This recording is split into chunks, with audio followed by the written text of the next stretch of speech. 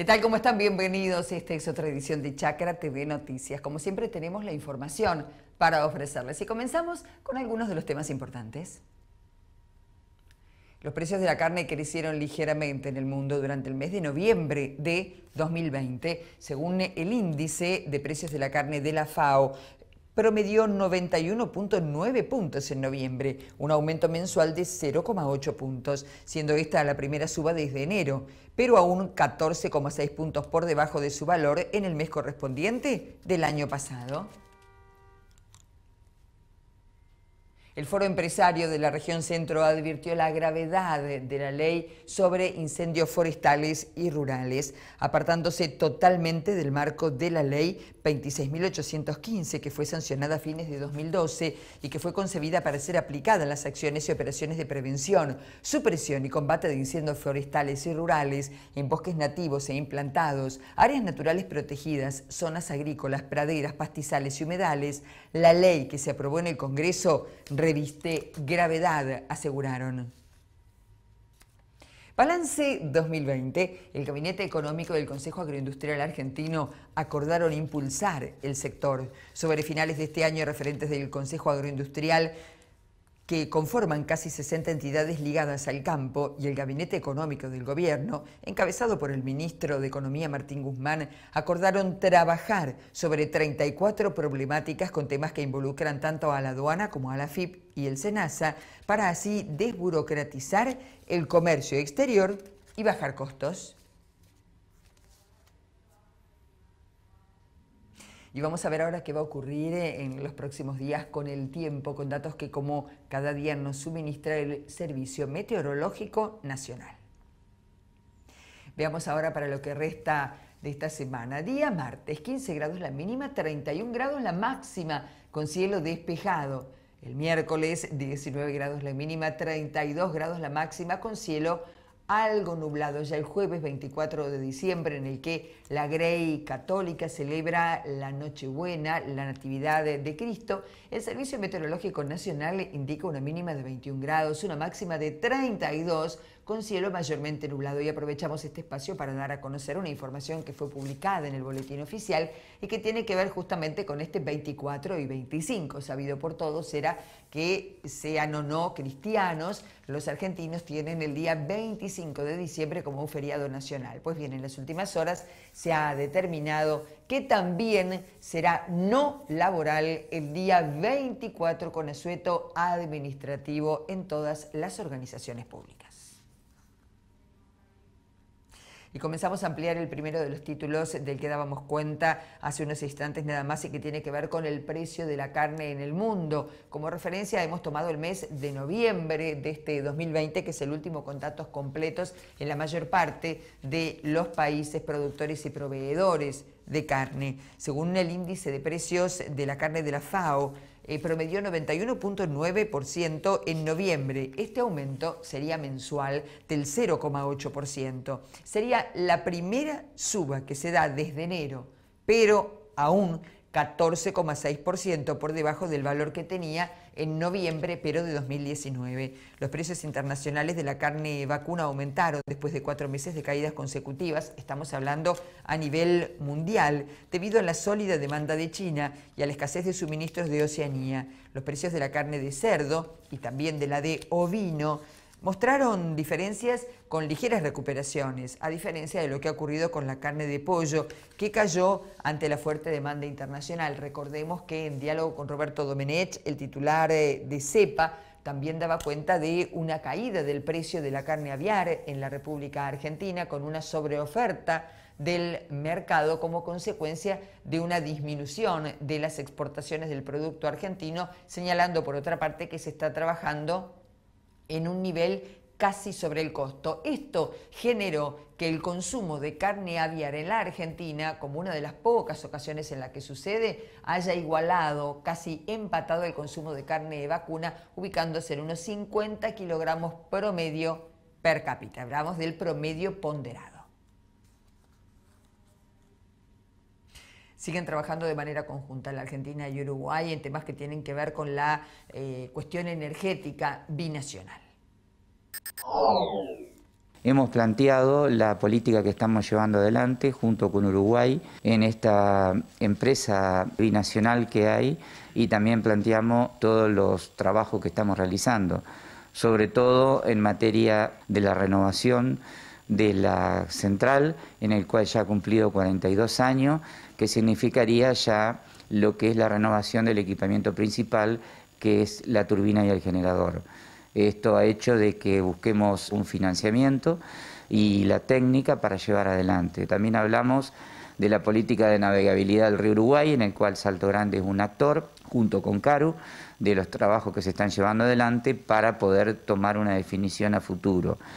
Y este, también eh, hemos eh, hablado la problemática del río Uruguay hoy en cuanto a este, los bajos niveles que hay como consecuencia del fenómeno de la niña que está afectando a toda Sudamérica. En concreto, en el caso de la Comisión Administradora del Río Uruguay, la idea del gobernador era que nosotros pudiéramos presentar en el tramo que es compartido entre Argentina y Uruguay tres cuestiones puntuales que tenían que ver con lo que es el mantenimiento del dragado del río Uruguay, que como todos ustedes saben, ha llegado hasta Paysandú y la idea de todos los entrerrianos es que llegue hasta Concordia y Salto y que se torne navegable el río Uruguay. En segundo lugar, eh, la situación ambiental del río Uruguay, sobre todo los temas que tienen que ver con el agua, con la biota, con el sedimento.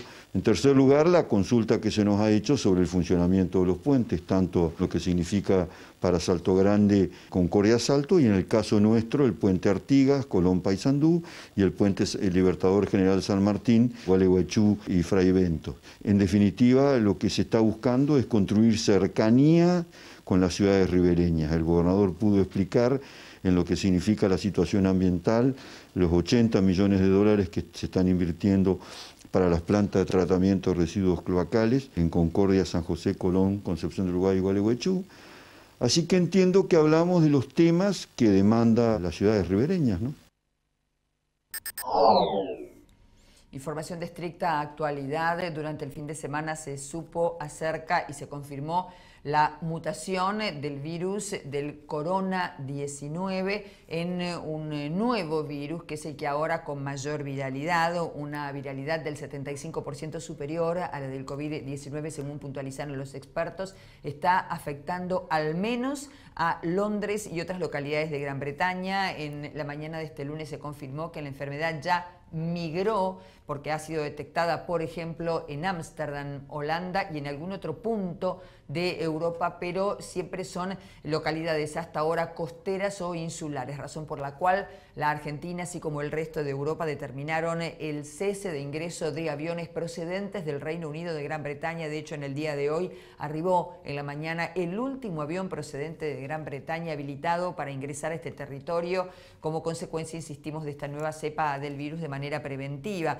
Del mismo modo, debemos decir que quienes arribaron en ese vuelo deberán permanecer ahora siete días en cuarentena de acuerdo a lo dispuesto por el gobierno nacional. Pero también hay que hablar de lo que está aconteciendo en Uruguay, donde decidieron literalmente el cierre de fronteras como consecuencia del crecimiento exponencial que se ha dado del coronavirus, el ya tradicional que conocemos hace poco más de un año y ha dispuesto para ello establecer fuerzas militares en las fronteras con la Argentina y con Brasil. Y la última información, al menos por el momento vinculada con eh, este tema, tiene que ver con que sigue desarrollándose eh, el supuesto operativo, para determinarlo de algún modo, para eh, traer la vacuna procedente de Rusia con toda la controversia que ha generado a la República Argentina. Esto quiere decir que sigue inamovible la fecha del vuelo de aerolíneas argentinas que se trasladaría hacia Rusia para buscar justamente estas dosis. Pasamos ahora a otro tema, vamos a hablar de uno de los sectores cuyo consumo para alimentación animal también tiene que ver con el maíz y donde también puntualizan que los costos están ajustados. Veamos.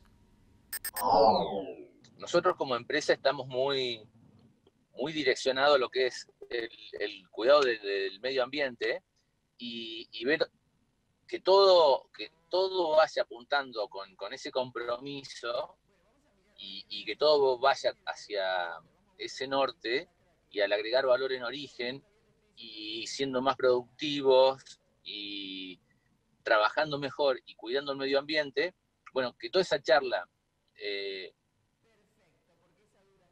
eh, eh, va en concordancia con, todo lo que nosotros hacemos, la verdad que a mí me, gratificó mucho y ver lo que están haciendo otras empresas, que, de hecho ya también tenemos contacto y nos conocíamos, pero, pero bueno, me, interesó mucho y me gustó mucho que la charla vaya direccionada para, todo lo que es cuidado del medio ambiente y tratar de promover que todos los feedlots, todos los productores, estemos apuntando nuestros cañones para, para esos lados que, es el futuro.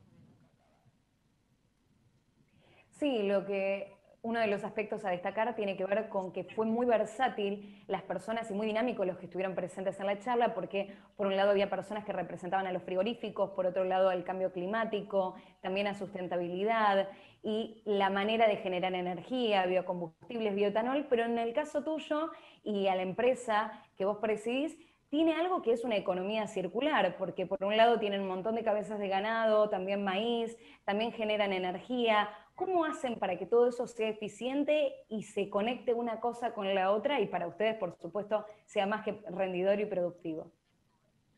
Bueno, la verdad que, fue todo un desafío eh, al principio plantearnos todo esto, porque nosotros venimos de ser productores tradicionales, y, bueno, buscando agregar valor a lo, que hacíamos, se nos fueron presentando estas ideas, estos proyectos que, fuimos llevando adelante, donde hoy de una semillita de maíz que producimos en el campo, la transformamos en, biocombustibles, en biotanol, en burlanda, en vinaza, en kilos de, de, novillos, que esos novillos a su vez los estamos mandando a China con nuestra marca, también al mercado interno con nuestra marca, con todos los efluentes del feedlot, producimos biogás y con ese biogás hacemos energía eléctrica, energía térmica y todos los efluentes de, los biodigestores es biofertilizante que volvemos a, la tierra para empezar de nuevo el ciclo. Así que para nosotros fue todo un desafío eh, poder hacer todo esto, porque bueno, fue un, un, salto cuantitativo, cualitativo, de, todo tipo, tuvimos que perfeccionarnos en un montón de cosas, aprender muchísimo, y, la verdad que fue muy positivo y, hoy lo estamos disfrutando como lo disfrutamos desde el primer momento, pero sí, aprendiendo mucho y, profesionalizándonos un montón, siendo más flexibles con todo esto, adaptando a toda la gente que teníamos para todo esto, tomando más también, pero bueno, muy contentos con todo.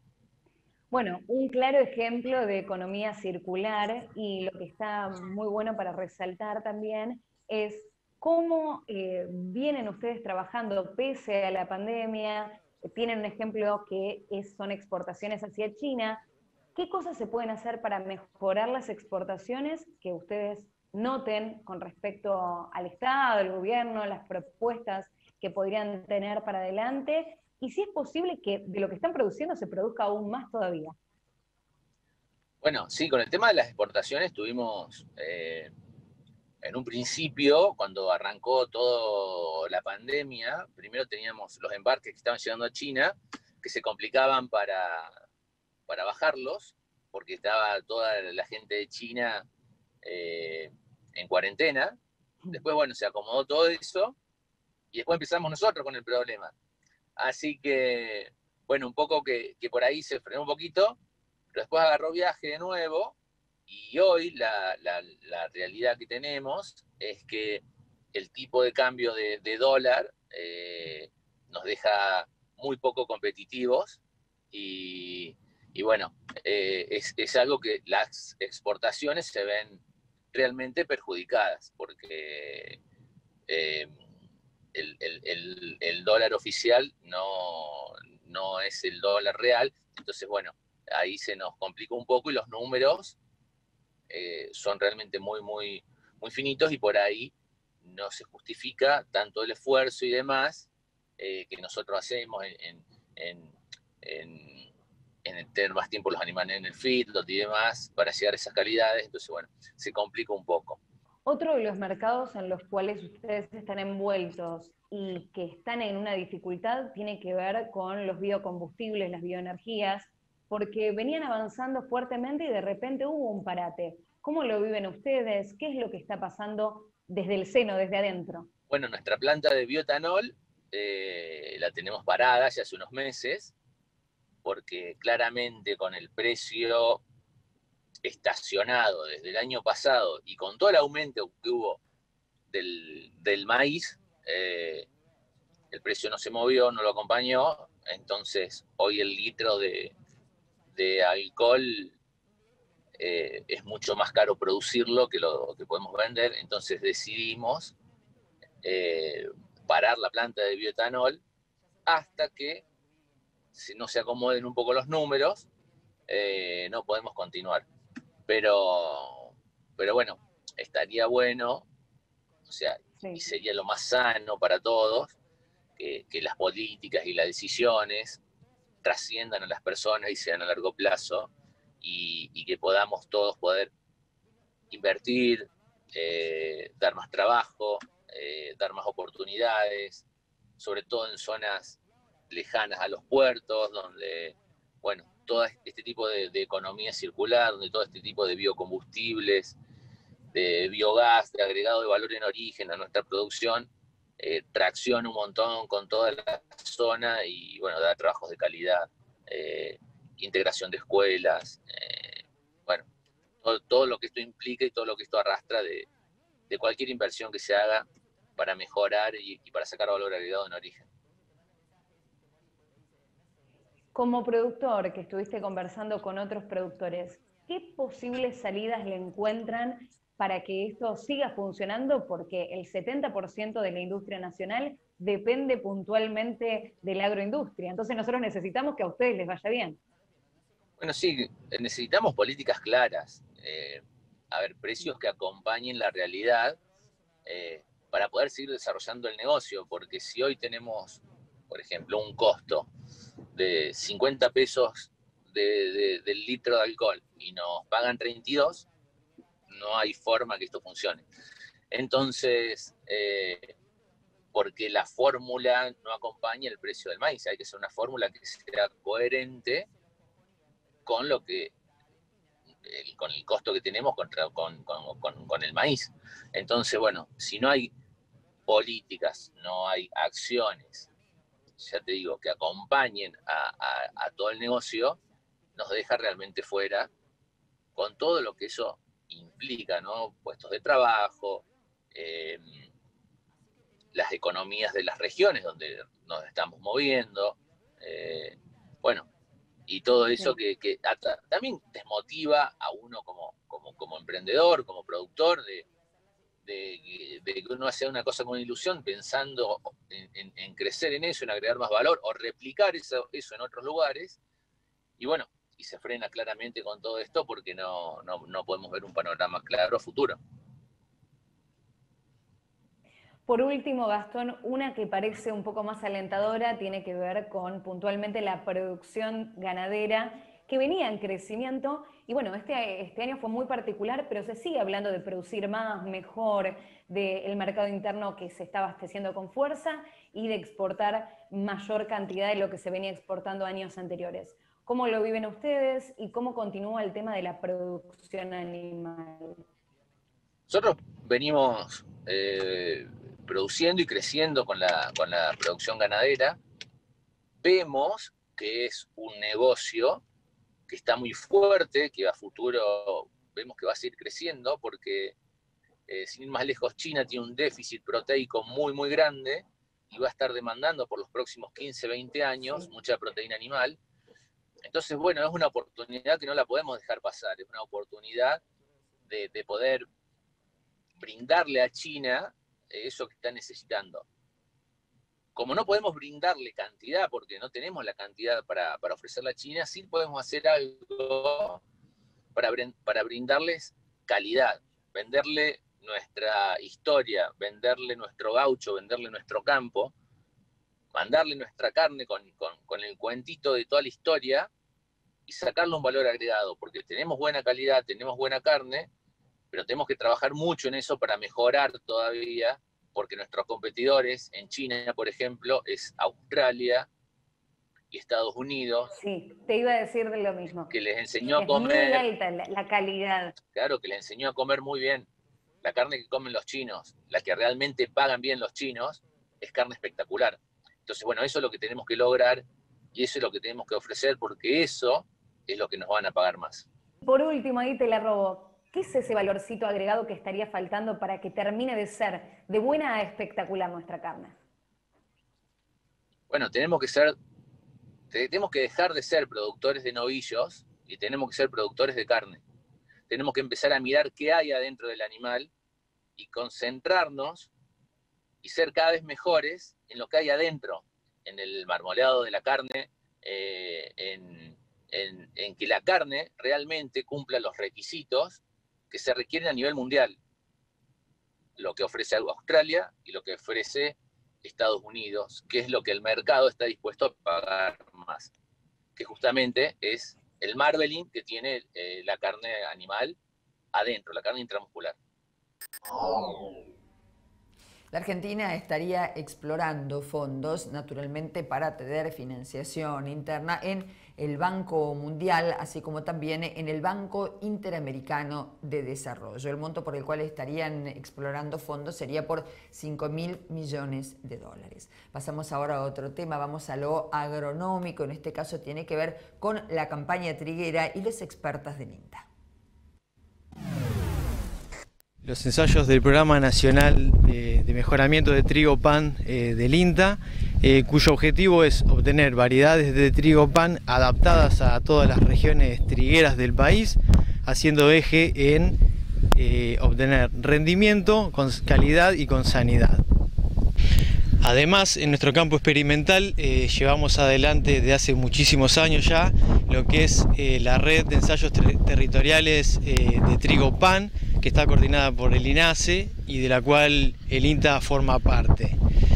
En ese sentido, se cuenta con eh, cuatro fechas de siembra para abarcar todos los ciclos de todos los cultivares disponibles en el mercado, que son alrededor de 70 en total, correspondientes a más o menos 10 empresas distintas. Es obligatorio que estos cultivares participen de la red siempre y cuando estén en el régimen de fiscalización.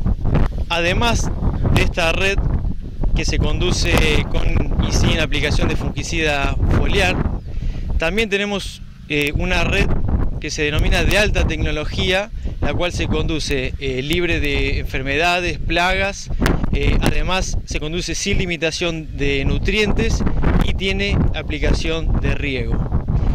En esta última red, el dato relevante a obtener es un, este, estimación de un potencial de rendimiento, eh, se trata de explorar techos de potenciales.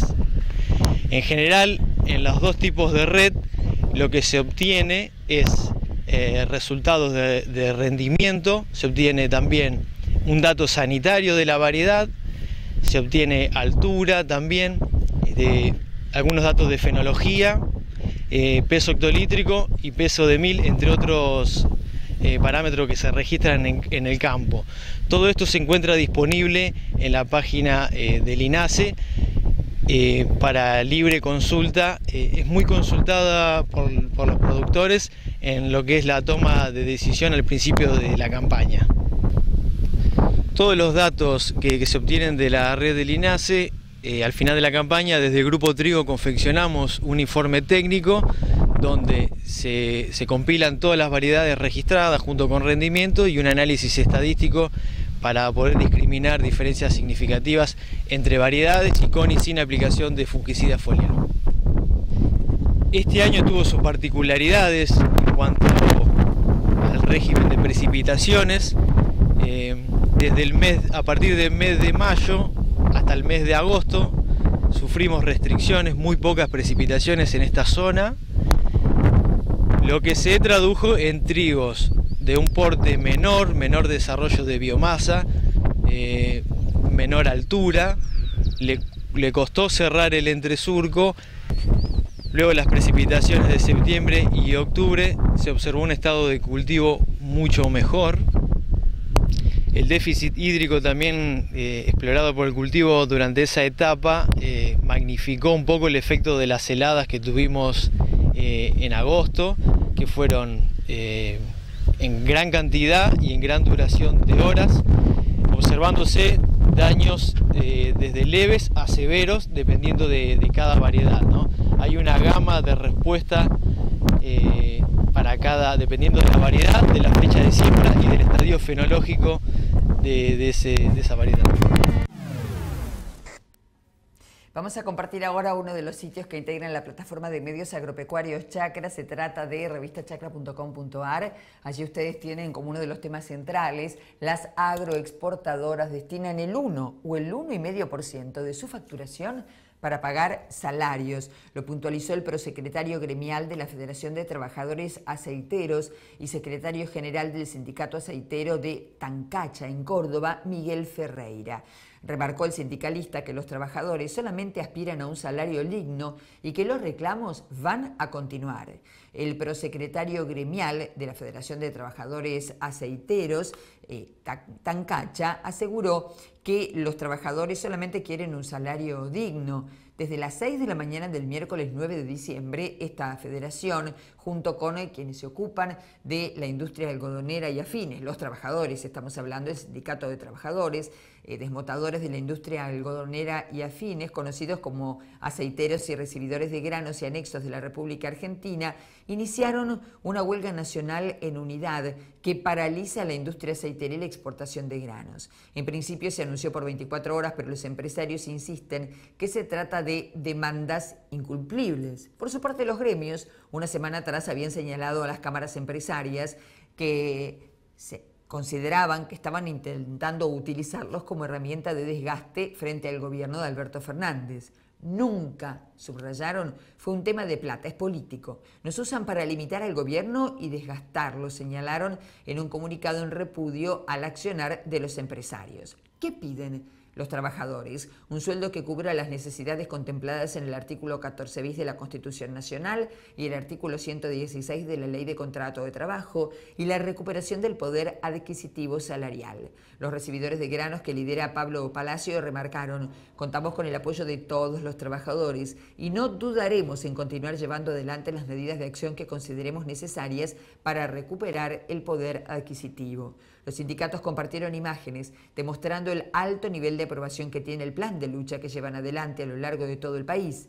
Más de 75 fotos y videos de plantas industriales vacías, vagones de tren que esperan la carga de granos, camiones que abandonaron su acoplado, camioneros trasantinos varados, todos esperando que se levante la medida. Insistimos entonces, eh, hay un fuerte enojo de quienes son los trabajadores de la industria aceitera, así como también de la industria algodonera y desmotadora, que paralizó por varios días la actividad en las industrias correspondientes y en los puertos. Y vamos a explorar ahora parte de un seminario muy completo que organizó la Bolsa de Comercio de Rosario, en el cual daba cuenta de distintas aristas relacionadas con el presente y el futuro de la hidrovía Paraná-Paraguay, desde el punto de vista productivo, desde el punto de vista económico y logístico. Escuchamos. Esta hidrovía viene a ser una especie de aorta o de arteria principal, digamos, lo que es para eh, América del Sur, porque sale ¿no? del, del corazón productivo de la principal zona productiva de lo que es, eh, hablamos de tocando Mato Grosso do Sul, en, el, sur de Brasil, Bolivia, Paraguay y Argentina, como ustedes lo pueden ver acá en el mapa adjunto que nosotros tenemos en nuestra presentación. Y bueno, eh, para hacer un poco el análisis estadístico y económico, digamos, eh, de, de los movimientos graneleros, que nosotros va a ser el enfoque de la exposición el día de hoy, lo, dividimos, ¿no? como se hicieron en, exposiciones anteriores, en la ruta barcacera y la ruta fluvido-marítima. La ruta barcacera, ¿no? en este caso, el grueso, eh, digamos, eh, de, las, eh, de, los embarques por barcazas se va a realizar o se está realizando desde Corumbá hasta la ciudad de Santa Fe, ¿no? con pies que van desde 7 a 10 pies en el, en el calado, y bueno, acá tenemos principalmente embarques, bueno, los embarques que salen de Brasil desde la ciudad de Corumbá, territorio brasileño. Eh, acá tenemos principalmente lo que es eh, mineral de hierro, embarcazas y eh, poroto de soja. en Bolivia lo que tenemos principalmente los embarques de barcazas vienen a ser subproductos de soja, más que, más que soja de por sí. Eh, tenemos aproximadamente, son un millón, entre un millón y dos millones de toneladas de aceite y de harina de soja. Bolivia exporta muy poco poroto de soja, gran parte lo industrializa, y lo exporta, digamos, a lo que es Perú y Chile, ¿no? por eh, ferrocarril y este, camión. Y bueno, y lo que va, digamos, para lo que es Ecuador y Bolivia, ¿no? que tiene que dar la vuelta por el canal de Panamá, viene y baja por la hidrovía, ¿no? a través de Barcaza, y después hace su, en zona de transferencia, tanto lo que es Rosario como Uruguay, eh, digamos, hacia buques oceánicos y luego da la vuelta hacia el Océano Pacífico. En Paraguay tenemos, eh, digamos, envíos también muy, muy parecidos, pero también una mayor preponderancia del poroto de soja. Eh, tenemos entonces harina de soja, aceite de soja, maíz y poroto de soja. este poroto de soja, digamos, va tanto este, a ser transbordo en la zona, ¿no? Este, digamos, en la ruta fluvio-marítima, en lo que son los puertos este, cercanos a la zona de Gran Rosario y Nueva Palmira inclusive también. Eh, y a su vez también eh, esta soja viene como importación temporaria para Argentina dentro del régimen donde eh, las fábricas traen el poroto de soja de Paraguay, que este, uno de los beneficios que tiene esa importación de soja para la Argentina es mejorar el contenido proteico de la harina de soja que se elabora en Argentina y para eso este, poder, digamos, tener un mayor alcance o, entrar en diversos mercados en, eh, la harina de soja a nivel eh, mundial para Argentina. Bueno, en términos este, de volúmenes brutos, nosotros eh, aglomerando, digamos, todas esas cargas que bajan desde el norte hacia, digamos, la zona que nosotros tenemos desde Santa Fe, que ahí es lo que le llamamos la ruta barcacera, tenemos 7 millones de toneladas de soja derivados, otros granos que son principalmente cereales, mineral de hierro, cargas líquidas, que ahí nosotros acuérdense, esto es movimiento, que puede ser tanto arriba para abajo, combustibles y aceites vegetales, y después, bueno, tenemos cargas varias, suman 21,5 millones de toneladas, eso es lo que, este, digamos, componen, digamos, el tránsito estimado para 2015 de la ruta barcacera. Por otro lado, nosotros tenemos esta este, ruta fluvio-marítima, que va a ser, digamos, gran parte eh, de la exposición, nos vamos a centrar acá, eh, ¿no? Porque justamente por el calado y por, digamos, eh, diversos alcances que ya vamos a tocar, toma gran parte de la, importancia de esta ruta, no siempre tomando en términos de volumen o el movimiento de buques y demás, dependiendo de cómo lo consideramos. fíjense, acá ya Javier la, en la, primera exposición del día de ayer ya había nombrado las diferentes cargas que se movilizaban. Acá eh, yo agarré, las desglosé un poquitito más, para que ustedes solamente tengan un pantallazo y las vean. Es prácticamente lo mismo, solamente desglosando, digamos, eh, lo que son oleaginosas, cereales, eh, combustibles y demás. De izquierda a derecha, este, mayor importancia a la izquierda y arriba también, de arriba hacia abajo. O sea, fíjense los, estos seis productos que tenemos acá, maíz, harina de soja, trigo, poroto de soja, aceite de soja y cebada, son los principales productos de exportación que salen de esta ruta fluvio-marítima. Acordémonos que siempre nos vamos a referir a esta zona de acá, ¿no? Esto es norte de la provincia de Buenos Aires y sureste de Santa Fe, que prácticamente es la zona que comprende esta, la ruta fluvio-marítima. Eh, fíjense, estos son, digamos, seis, siete principales productos que salen, siempre en términos de volumen, ¿no? Eh, que se mueven, y después el resto, ustedes, eh, donde ven que dice descarga, son justamente eh, buques oceánicos o barcazas que descargan en las terminales portuarias que se encuentran en esta zona.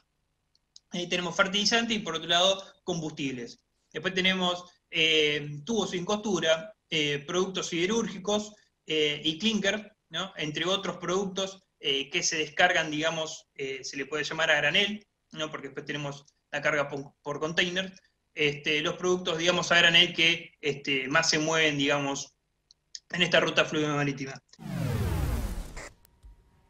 Hacemos ahora una pausa, pero no se vayan. Cuando regresemos vamos a seguir explorando la actualidad en el sistema de engorde a corral, niveles de producción, de encierre, de costos enseguida, después de la pausa.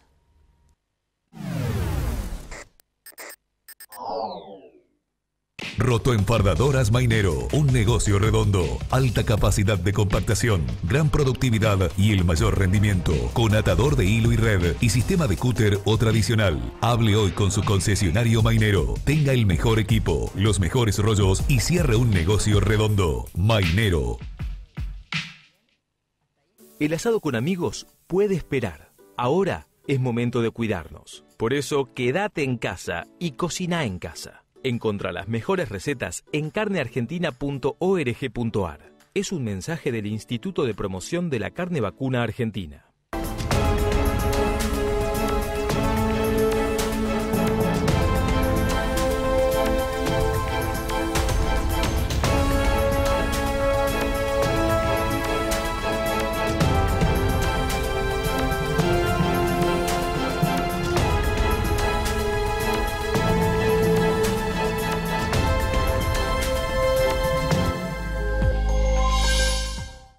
Campo evoluciona.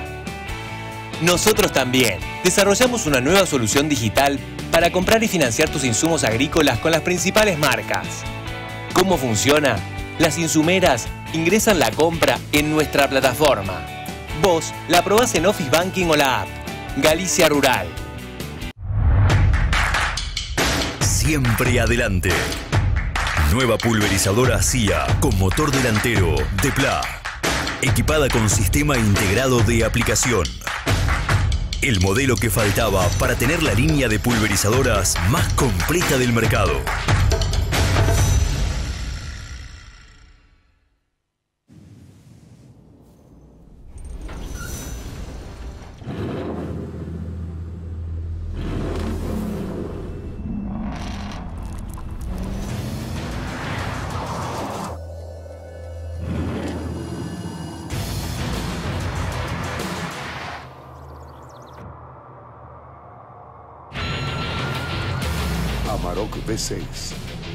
Más indomable de las Amaroks. Volkswagen. Somos especialistas en tolvas autodescargables. Somos pioneros en la maquinaria agrícola argentina. Somos Cestari. Hoy no podemos darnos la mano, es cierto pero también tenemos la certeza de que siempre vamos a trabajar codo a codo, cada uno hombro con hombro con el pecho bien inflado, porque sabemos que siempre fuimos y seremos esenciales. Y vamos a salir con la fuerza de todos nosotros que nunca, pero nunca dejamos de avanzar. Nueva Chevrolet S10, hecha para la vida real donde la vida real te encuentre.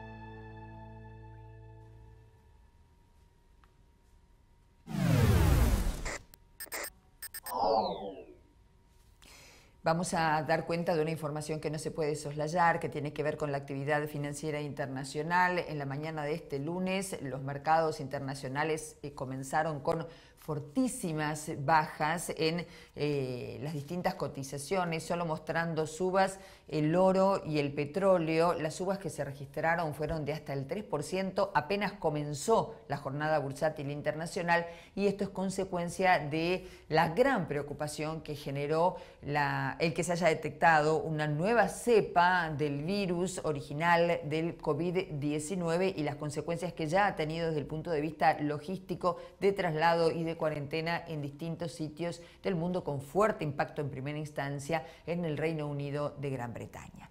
Volvemos a nuestro país, volvemos a la cuestión eh, agropecuaria y en este caso al documento de tránsito vegetal. ¿Cuáles son los recaudos que hay que tener de acuerdo con el informe del SENASA?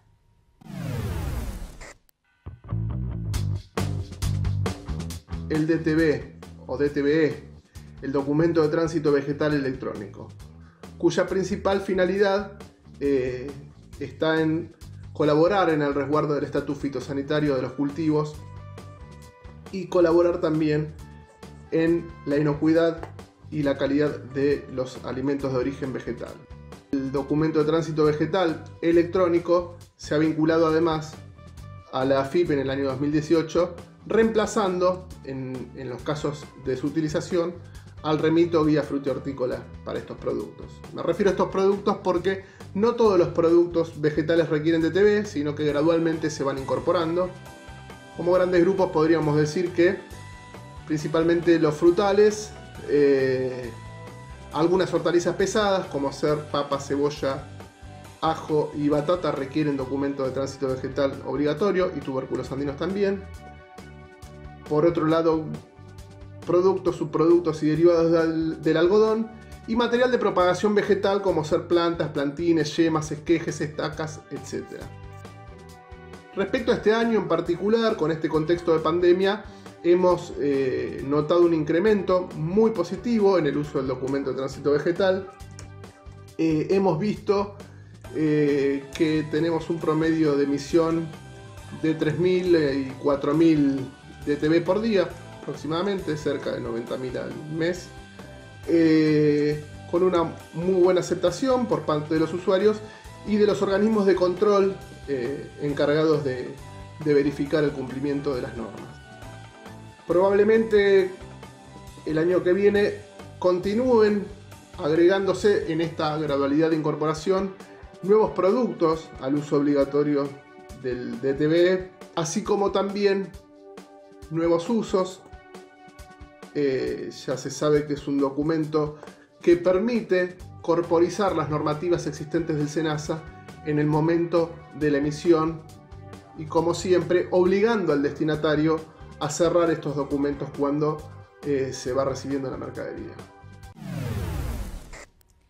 Sobre el final de este complejo 2020, por diversas razones, ha generado preocupación en los productores agropecuarios una serie de medidas que se han estado tratando en el Congreso y que no habían sido abordadas a lo largo de todo el año. Una de ellas tiene que ver con el tema incendios que producto de la sequía afectó fuertemente este año distintas zonas productivas. En este caso, el Foro Empresario de la región centro advirtió la gravedad que tiene la ley sobre incendios forestales y rurales. Señalan que se aparta totalmente del marco de la ley 26.815 que fue la que se sancionó a finales de 2012 y que se concibió para ser aplicada a las acciones y operaciones de prevención, supresión y combate de incendios, tanto forestales como rurales, en bosques nativos e implantados, áreas naturales protegidas, zonas agrícolas, praderas, pastizales y humedales.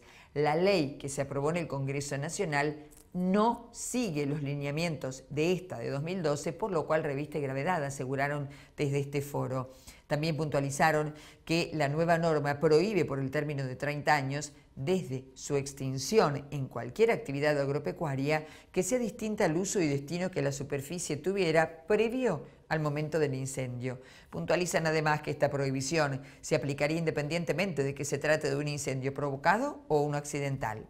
Esto implicaría que el propietario de un campo dedicado a la producción agropecuaria que hubiese sido víctima de un atentado o sabotaje o que hubiera sufrido la quema de sus terrenos por un siniestro producido en su zona, por un hecho fortuito o por dolo de un tercero, se vería impedido de disponer el uso de su predio y lo mismo ocurriría con quien lo recibiera por compra o arrendamiento. Explican que esto significaría un cercenamiento de derechos de propiedad, aún sin haber tenido responsabilidad alguna en la causa que pudiera haber provocado el incendio en cuestión. Y vamos ahora a hablar de la vigilancia epidemiológica, en este caso en el noroeste de la República Argentina, el informe del Servicio Nacional de Sanidad Animal. En el contexto de un año tan complejo, tan dificultoso con la presentación de esta pandemia COVID-19, el SENASA continúa fortaleciendo sus acciones en terreno, en este caso en el cumplimiento de la ejecución de distintos programas sanitarios a través de muestreos, vigilancia activa y pasiva. En este caso, hemos realizado la logística para la recolección y entrega de distintas muestras de programas sanitarios como ser muestreo serológico Aptosa en frontera, muestreo serológico en aves, en programa porcino, plan CREA, PCE, entre otros. En una acción coordinada entre las regiones NOA Norte y NOA Sur, realizamos el traslado de las muestras vía terrestre por conocidas dificultades operativas garantizando la cadena de frío, el tiempo y la entrega al laboratorio central. Una vez más, el SENASA lleva adelante las distintas acciones a pesar de las dificultades coyunturales. A lo largo de esta cuarentena quedó demostrado a todas luces que el sector agroindustrial es esencial, independientemente de la denominación que ofrecieron muchos servicios y trabajos durante eh, esta pandemia y las restricciones que devinieron de la misma. Independientemente de ello, hubo sectores que siguieron trabajando a pesar de esta afectación, por ejemplo, el portuario. Ahora bien, bien merece la pena el análisis acerca de cuál es la situación eh, en la infraestructura portuaria de la República Argentina en lo que refiere a la agroindustria. Veamos. Cuando hablamos de la hidrovía Paraná-Paraguay y hablamos de puertos y hablamos de una visión logística integral, estamos también hablando de cuestiones que hacen a las leyes de marina mercante y de industria naval, que afectan también a los puertos. Que hablamos de eliminar las asimetrías administrativas fiscales que hacen a los extracostos en materia eh, eh, de transporte y también en materia portuaria, donde nos genera una pérdida de competencia a, modo nomás de, de, denunciar algunas cuestiones y para que nos llevemos algunas ideas, cuando hablamos de las leyes de marina mercante e industria naval, hablamos de la necesidad de reglamentar hoy en día algunos artículos que todavía quedan pendientes de reglamentación, hacer una modificación legislativa que incorpore un régimen de fomento con medidas de promoción fiscal, tributaria y previsional, acá enumero solamente algunas, para quienes quieran ahondar en el tema. Hablamos, como dijimos, dentro de esta visión logística integral de la zona flanca. Hay que empezar a analizar el proyecto Barca Muerta, no desde una perspectiva logística, eh, no desde una visión meramente de eh, explotación de hidrocarburos, también desde una perspectiva logística interna y regional, también de interconexión. Y acá los puertos eh, estatales tienen una misión fundamental a través de la coordinación y eh, eh, trabajo en conjunto que pueden realizar tanto los puertos fluviales como los marítimos en respecto al tema del proyecto de eh, desarrollo de vaca muerta en términos logísticos. Impulsar y fomentar la construcción de buques a GNL, para lo cual los puertos, tanto los privados como los estatales, van a tener que adaptarse a, esta, eh, a, esta nueva, a estos nuevos buques que ya empiezan a nivel marítimo a construirse eh, en GNL y que hay un proyecto muy importante eh, que se está impulsando desde sectores empresariales y gremiales para que también remolcadores bajo construcción nacional estén impulsados por el GNL. Hablamos también de que los puertos especialmente los estatales, tienen que hacer una fuerte inversión en infraestructura y por supuesto... Mariano, estamos en tiempo. Digitalización portuaria. Ya voy terminando nada más, simplemente eh, comentándoles que todo esto tiene que tener, para que ustedes vean, dos números muy grandes. A mí me gustan los números porque marcan un poco eh, hacia dónde van los países vecinos y hacia dónde va nuestro país. Miren estas asimetrías que hablamos miren en este sentido esta otra simetría, el crecimiento de exportaciones de Paraguay respecto a la Argentina, donde está primero Paraguay y en el otro extremo último está la Argentina. Todo esto dentro de esa visión que les comentaba antes. Y dentro, y el papel que los entes eh, portuarios, gestión portuaria, los entes estatales tienen que tener, es el papel que justamente debemos analizar y debemos proyectar para el futuro. Recuerdan ustedes que oportunamente hablamos de la importancia que tenían los distintos bancos de germoplasma que existen en el INTA. En este caso vamos a explorar, explorar el banco sobre o de olivos que hay en Cuyo, Argentina, y por supuesto con la participación del Instituto Nacional de Tecnología Agropecuaria. Soy Pierluigi Pierantozzi, investigador de INTA y de CONICET. Soy junto a la doctora Mariela Torres responsable de la colección de olivo que tiene la EA San Juan.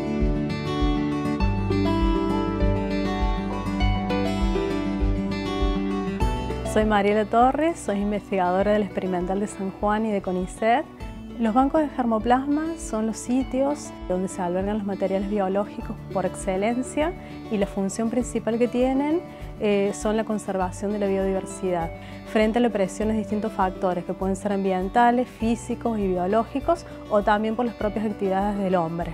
Una de las formas de almacenar estos recursos genéticos dentro de los bancos de germoplasma es las colecciones a campo, como es el caso nuestro.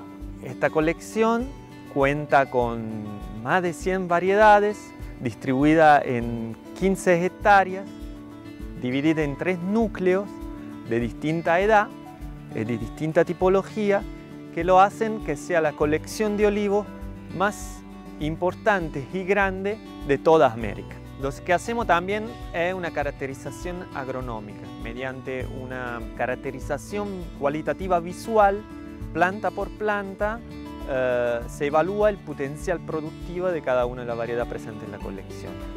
Y eh, además de esa caracterización agronómica, lo que se hace es una caracterización helaiotécnica.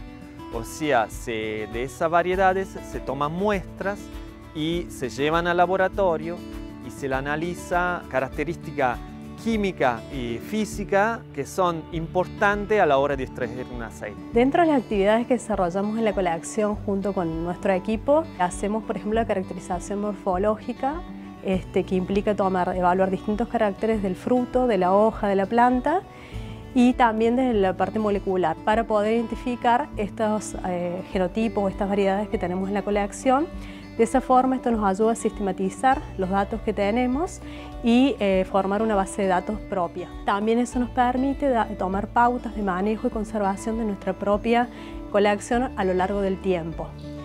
Este trabajo es importante remarcar que no lo hace solamente el INTA San Juan, lo hacemos en forma eh, conjunta con otras instituciones de ciencia y técnica, como universidades, la Universidad Nacional de Córdoba, la de San Juan, también otros organismos de CONICET, también trabajamos con otros organismos internacionales que son referentes en la temática, como el IFAPA, la UCO, el CNR de Italia, Universidad de Perú, el COI, y también con empresas del sector privado a nivel local.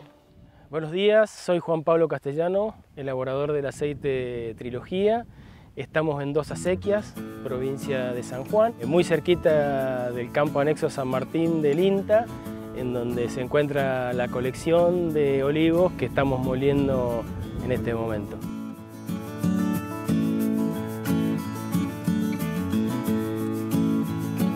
Buscamos la esencia, buscamos capturar lo que ya hizo el árbol, el aceite ya está hecho eh, y nosotros tratamos de mantenerlo lo más original posible, porque desde el momento que la aceituna es arrancada del árbol hasta que es puesta en una botella, se producen una serie de eventos este, físico-químicos que lo degradan al aceite. Entonces, el mérito nuestro es mantener lo más inalterado posible y además, y por eso este, tenemos la ayuda del INTA, buscamos variedades que tengan características singulares que nos permitan capturar eh, sensaciones distintas, porque en definitiva este, consumir un aceite es consumir una historia que está detrás y bueno, son sensaciones.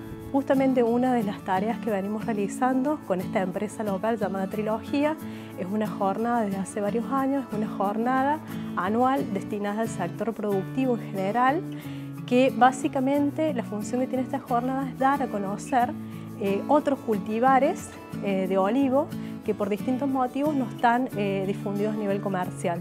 Entonces, generalmente el cierre de la jornada es una degustación de estos aceites varietales y la idea también de esto, de dar a conocer esto, es para romper con la estandarización varietal, que no solamente lo vemos que se en olivos, sino todo el sector agrícola. La idea es que también, sobre todo para el pequeño productor, puede tener otro cartillo de cultivares que lo va a poder diferenciar en el mercado. Y por otro lado, evitamos también la erosión eh, genética en el cultivo y trabajando quizás con otros cultivares sobre todo en regiones como las nuestras, como San Juan, podemos realzar y darle un valor agregado al producto.